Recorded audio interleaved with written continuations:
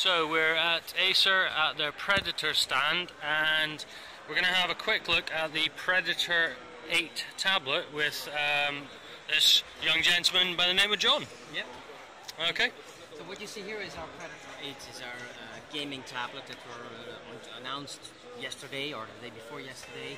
Uh, and it's really game, uh, uh, aimed at gamers. So this product comes with four speakers. So on the side of the product you see four speakers, which give you a, a fantastic sound. You maybe can hear it a little bit.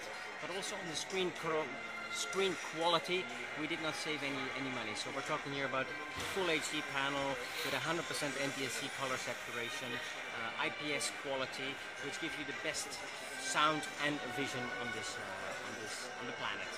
So gaming tablet, um, we built in haptic support, so you can try haptic gaming. It's difficult to bring that on camera, but you actually feel the force of hitting the wall with your car or playing tennis uh, on this product.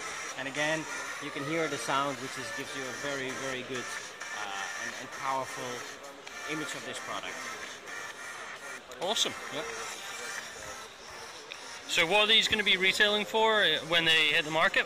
This is going to be in Eurozone 349 euros in creative. So okay. It's, really, it's, uh, it's, it's, aimed at gamers. You will see across all the products around here uh, that they're all coming from the Sign Design family. So the, the, shape of the speakers come back in the base of the, uh, mm -hmm. the monitor. The wheel of the monitor comes back in the base of the, of the monitor. So, uh, it's not a one-trick pony.